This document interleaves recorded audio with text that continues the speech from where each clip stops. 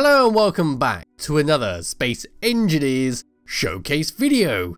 In today's video we're looking at another dropship and this one is called the P-50 transport vessel which is this thing right here. So it's a very small, very light on blocks, vanilla only dropship for you to drive around and use it to transport yourself or goods from one place to another. But pressing F10 and finding it in the spawn menu, there it is. This lovely transport ship is 434 large blocks. It uses no mods and no DLC packs. And as you can see there, it's inspired by the Dead Space 3's CMS Crozier, or however you say that word. So starting at the very front here, we've got a lovely little bridge. It's not too big, but is just good enough for you to view outside and make sure you're not going to crash into anything. For our seats, we are once again using our large control seats, which I didn't know existed until yesterday. We got two of them there to fly the ship and to control everything, and one more to carry an extra person. We come back to the front, we got some lovely blockwork in the standard vanilla skin, and then moving around the side we got ourselves a ion thruster. Ion and hydrogen are the thrusters that appear on this ship, and you will be able to toggle between them thanks to a timer block. The ion thruster has been encased with the standard catwalks, and as we move around the side onto this white part here, we've got a doorway that leads inside. Now we do have a few scripts that are active on this ship, such as the auto door and airlock script, so you never have to worry about losing all your oxygen thanks to some bonker opening up the doors all the time. Continuing along, we got our hydrogen tanks, which is going to store all our hydrogen for our thrusters, and they are just clipping through those catwalks right there so you can see the green bars with how much they contain. Just above that, we got some more ion thrusters, then as we move around to the very back, past all these catwalks, past these black and white blocks, we come to our main thrust, which is in the form of 8 hydrogen thrusters and 6 ion thrusters. By default, you won't have both of these active at the same time. They'll come with a little toggle switch which allows you to flip between them. If you find that the speed or the control isn't up to your standards, you can always just go into the options and flip them all on at the same time, but the way it's been set up is to save hydrogen once you're in space. As for that, we can start coming around the top of the ship where we see some more nice blockwork, very nice basic blockwork, nothing too fancy there that's going to cripple performance or eat up your PCU limit. And then coming all the way down and underneath the ship, there's not too much to talk about, there's just some more ion thrusters in there, and some more hydrogen thrusters. So now it's time for me to take control of my character, and we can go inside. There's not too much to talk about on this ship, I simply do love playing around with dropships.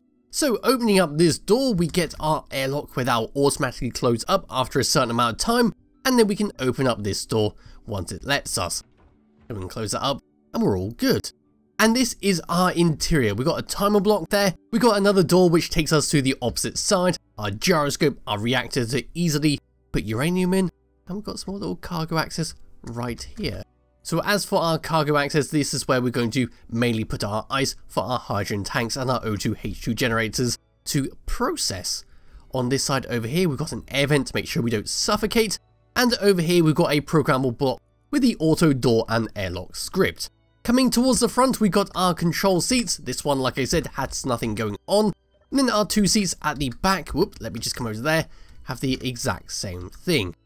And that is basically it for the interior. It's a very small one, and you can, if you want to, decorate it using some of the DLC packs. If I was to bring over some of these things, we can then bring in some cornered chairs, or even in this case, these standard chairs. Let's have one there and you can have one from that programmable block. Maybe even put a planter over there, and around there I don't think there's too much to go without removing any light.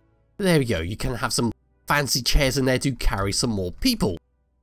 But now it's time for me to get into the cockpit and we can give it a little play around. So we start at number 4 which is for our gyroscopes, so we can turn that on and off if you wanted to. Number 5 is to automatically close the doors Make sure they are all properly closed before someone tries to attempt to open them. Number 6 is for the lights on the inside. Number 7 is for our batteries on and off. And number 8 is for our reactor on and off. Number 9 is for our special taking off measures. So if I just make sure the hydrogen thrusters are currently turned on, then flip over to here, if I was to press number 9, we then flip that on, the hydrogen would turn off and now we get ion thrusters. So beams were on the moon, we don't need to have those hydrogen thrusters, we can simply rely on the ion and fly around. But like I said, there are some situations like now where it is a little bit lackluster in control, so you can always put a manual button down to have the hydrogen as well as the ion. And that is pretty much it. The only other thing I can think of is flipping that on, so if we were on a planet atmosphere, we can just save that little bit of power by switching to the hydrogen and turning off the ion. Very nice little switch to have. Yes, that is it for the P-50 transport vessel. It's a lovely little ship to play around with. There's not too much else to talk about. It's simply a nice small design and that is a outpost over there. I was wondering what was going on. Like, is that like an ice ice orb over there? Just reflecting everything? But no, it's an outpost. Yes, the P-50 transport vessel will be in the description below if you want to play around with it yourself. You can always take it and try decorating it yourself or look at the design and make something similar to it depending on what you want to do. But as for that, that is it for this video. I hope you enjoyed it and I'll be back with another showcase video some point soon. Bye bye.